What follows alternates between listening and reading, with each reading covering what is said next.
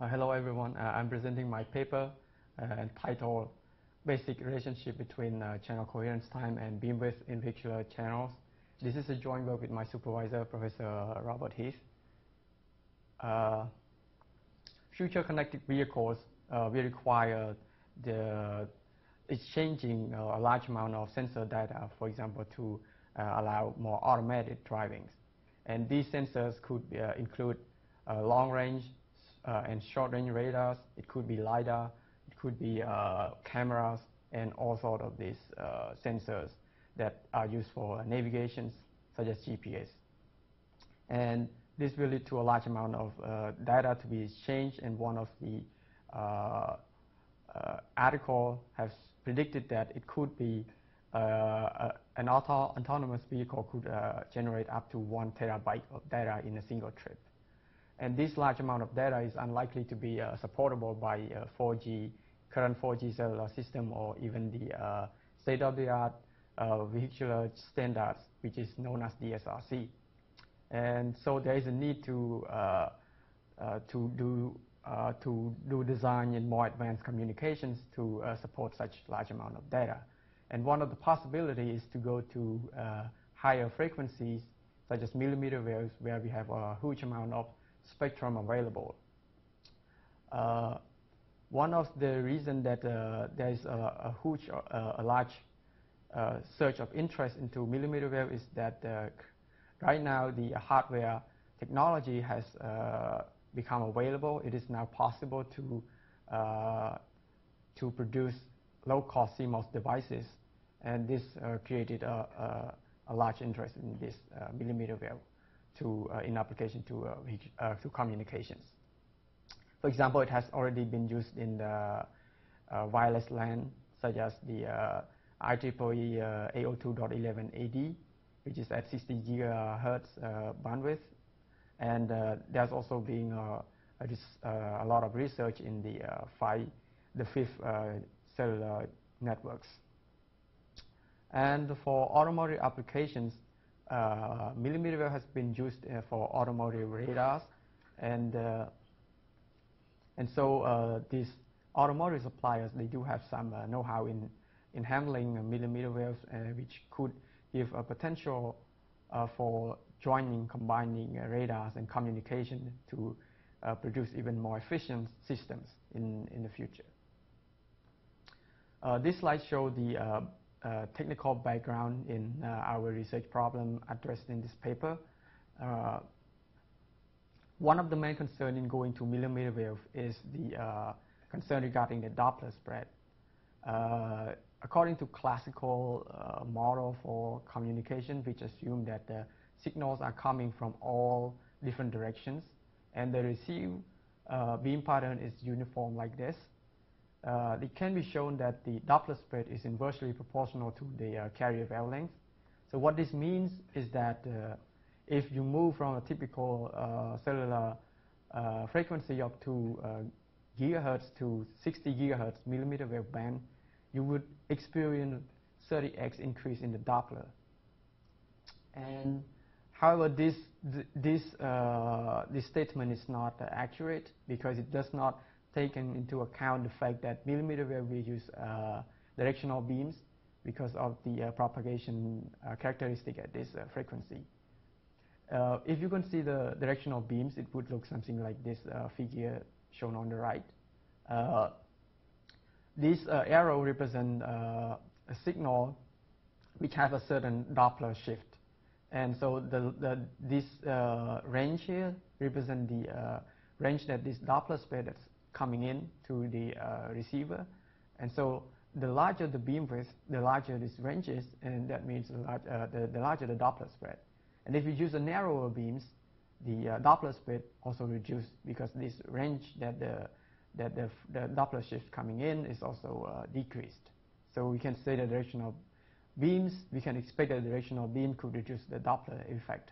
And this is the uh, main contribution of this paper is we quantify the, this, uh, this, this effect and so that we can quantify the uh, time variation of the vehicular channel with these directional beams. And there are two important effects that we need to consider in doing this uh, in the vehicular channels. One is that uh, because of the directional beams, we need to consider the beam pointing errors due to the receiver motion and also the Doppler spread as in the typical uh, classical channel.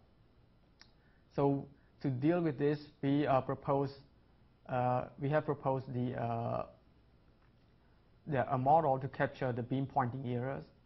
We also, uh, based on this uh, model, we derive a channel time correlation functions which take into account both effects of the pointing error and Doppler effect.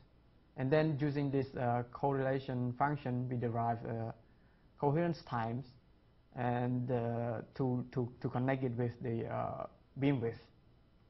Our result shows that uh, there is an optimal, non-zero optimal beam width that uh, maximizes the channel coherence times. And this is in contrast to existing works that because they don't consider this pointing error, it leads to a non-intuitive uh, conclusion that if we if the beamwidth goes to zero, the channel coherence time will go to infinity. Some of related works are shown in this slide. So there are also some work that characterize the uh, beamwidth and the coherence times. Uh, one of the earlier works from 2000, but the, the, the, result here is a little bit uh, unintuitive. And uh, the, there's later works that also have uh, a quite simple expression to relate the beam with uh, the coherence time and the number of antennas, assuming a, a linear uniform uniform linear array. But they have only result for the uh, pointing direction of 90 degree only. And other related work uh, related to the uh, correlation function in uh, non-isotropic scattering environment. there are different approaches in this, in this line of research. One is as shown here by this one from 2008, uh, is they use an infinite sum of Bessel function to decompose the uh, the the, uh, the the, the antenna's pattern and the uh, power angular spectrum. In doing this, they can uh, they can derive the coherence the correlation function for any power angular profile, but then the resulting solution is because it involves the the the, uh, the infinite sum of Bessel function is not uh, amendable for further uh, analysis. Another approach uses some a certain form of the uh, assume a certain form of the power angular spectrum and uh, for example here they use a von Mises uh, distribution function for that and this lead to a more tractable solution for and we, we also use uh, following this type of, uh, of, of uh, lines of research here that assume a certain type of, uh, a certain shape of the uh, power angular spectrum. And recently there is another work that tried to characterize the pointing error and uh, coherence time, but this work was for uh, backhaul application, which is static, and the they start the, and, and the source of the pointing error is due to wind-induced vibrations. So we can see that all this uh, work related to the uh, coherence time and co correlation function and coherence time does not have a pointing error, and the work that is on pointing error does not have mobility. In our work, we uh, incorporate both of this effect. This is uh, this slide shows our channel models. We assume a wide-sense stationary uncorrelated scattering model. Uh, the, the channel model is uh, shown here. So what it represents here is this channel is assume that uh, the channel is composed of uh, a sum of planar planar waves. So it is this is just a plane waves coming in uh, from different directions, and they are weighted by this uh, effective power angular spectrum. So what I mean by effective power angular spectrum here is the actual power angular spectrum without the antenna patterns, and this will be applied an antenna patterns. So what is seen at the receiver uh, after the uh, antennas is this effective power angular spectrum. Uh, the, we assume that this power angular spectrum uh, take the form of von Mises distribution function, which has these shapes here, as shown here, and the expression is shown here where this uh, I0 is the uh, modified Bessel function uh, of the first type. And if we plot this into a polar coordinate, we can get uh, something like this, which somehow resemble uh, antenna beams, a main lobe one. Uh, this is the uh, model for to capture uh, pointing errors. We assume that the uh, scatterer are located on this ring with a radius of dr. If the receiver moves from point, point A to point B, and without changing its uh, pointing direction as shown here, you can see that there is uh, equivalently there is uh, an, a pointing errors of this uh, amount that is represented by delta mu here. So this delta mu can be computed from this uh, geometry, from the geometry as shown here, and with approximation of small delta mu, we can get to a simplified expression as shown here. And this delta d is the, uh, the, the, the, distance between A and B, which can be computed from the speed of the vehicle. And the speed of the vehicle, you can connect it with the uh, maximum Doppler shift. And so we get an expression that is related to the Doppler, maximum Doppler shift here, uh, related to the, the, the, pointing error here. So with this model, we can now compute the correlation functions uh, the definition of our correlation function is shown here, which is based on the, uh, the, the complex channel coefficient. So there's two main steps in this uh, derivations. The first one is that we need to apply the uncorrelated scattering assumptions. After doing that, what the expression that we get is this one. And this P actually the von Mises distribution function, but I didn't uh, explicitly uh, express it here. And for the second steps, if we need to do an approximation based on the small pointing errors, with that approximation, what it helps us is we can uh, decouple this delta mu, the de dependence of delta mu in this uh, integral, take it outside the integral. And that will simplify our expressions, and the end result is this one is given by uh, the bottom here. So what is interesting about this uh, correlation function is that with uh, we can see that the Doppler effect and the uh, effects of the pointing errors here are approximately separable. So it's it's the, the two effects kind of like separable here. That that's that's what we found with this expression, but only this this only uh, approximation. So we need to verify that, and so this is uh, some verification, numerical verification that we did to show that the derived expression to, uh, to guarantee that the derived expression is uh, accurate. So some of the simulation parameters here is uh, the speed is around the high, highway speed of 30 meter per second and the transmitter receiver distance 50 meters. This is only used to generate the uh, channel uh, in using the uh, sample sinusoid approach and uh, so it does not relate it to our uh, derived expression. This uh, the carrier frequency is 60 gigahertz, and the scattering radius is around 100 wavelengths, and the beam width is 8 degree. So we plot here three curves here. One is called exact. By exact here, I mean this we compute this uh, this expression numerically. Uh, we do that that uh, integration numerically. And for the approximation is what we derive the, the derived expressions. And the simulation is we use the sample sinusoid approach to, uh, to compute the channel coefficients and then compute the uh, correlation function. So we plotted here for different pointing angles. One is at 80 degree, one is at 10 degree. So when uh, we can see that when the pointing error is large, this uh, fit is fit very tight. When the pointing angle is small, the fit is a little loose, but still pretty good. And also noted that uh, this pointing angle at the 90 degree corresponding to the case when the fading is the fastest. And so we can see that as this, uh, this larger pointing angle, the, the, the decrease in, this, uh, in the correlation function is faster than at lower uh, pointing angle here. So with that, we have the with uh, the correlation function verified, we now uh, proceed to the co coherence time derivation. So we derive the correlation time based on this definition given here, which is we define it as the time that the uh, correlation function decreased to a certain level r here for some predefined value that uh, given by the user. It can be 0.9, it can be 0.5. So the main difficulty in this derivation is the involvement of the uh, modified Bessel function.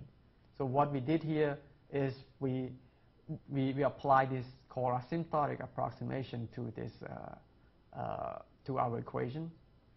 So this uh, asymptotic approximation is given by this equation, which is valid for uh, when z is large. And so applying this approximation and do some tedious algebra, what we arrive at is this uh, equation here.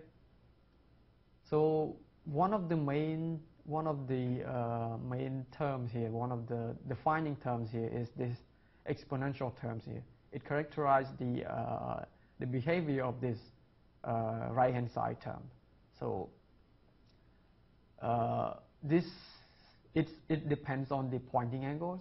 If the pointing angle is zero, this is purely imaginary. So if you take the uh, absolute value, it goes away. But if it is a complex, a real complex number, then you will get uh, an, an, exponential term that make this decrease a lot fast, very fast with uh, exponential speed. So with that, with that observation, we divide it into two cases. One case is, is when the uh, the pointing angle is small. That means you can uh, ignore this, uh, approximate it as 1.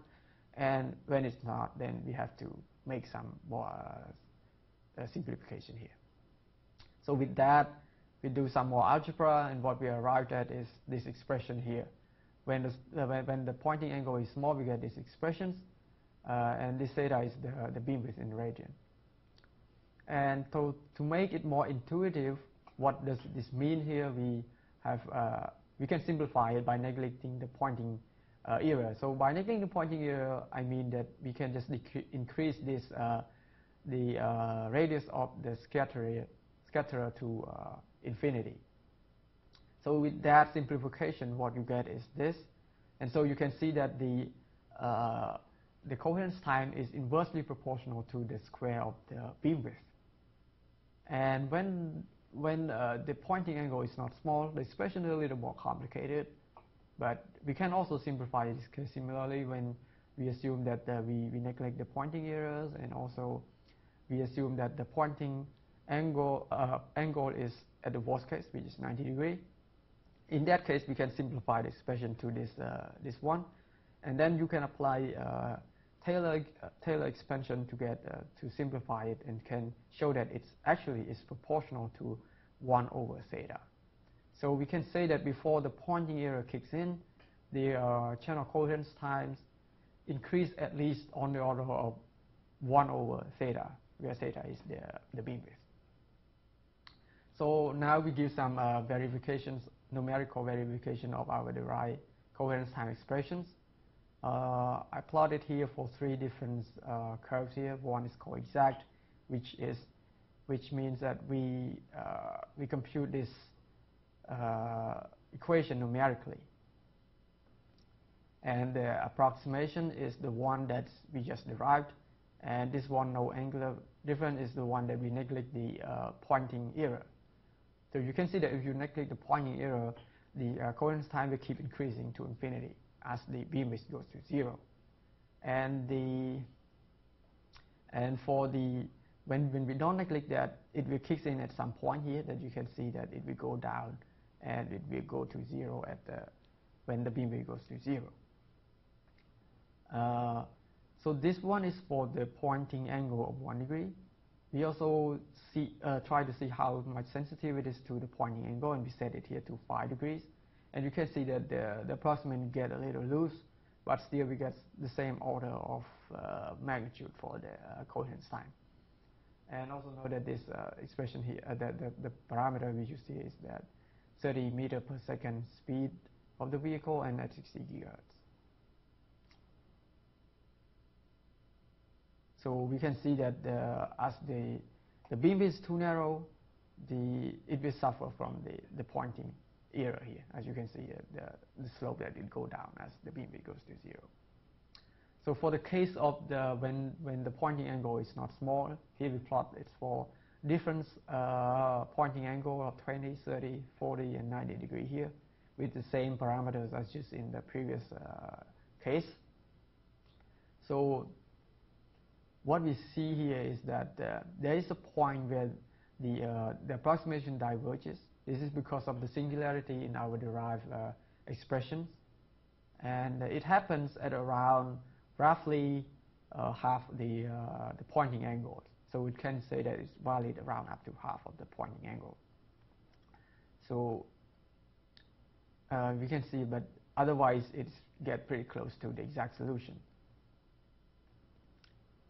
And from the result here for this speed of around the highway speed and at the 60 gigahertz uh, carrier frequency, the conclusion here would be that if we assume that uh, the packet is around 100 microsecond, which is quite likely for for uh, Wi-Fi uh, 60 gigahertz Wi-Fi systems, it's we we must we likely need around 20 degree beams.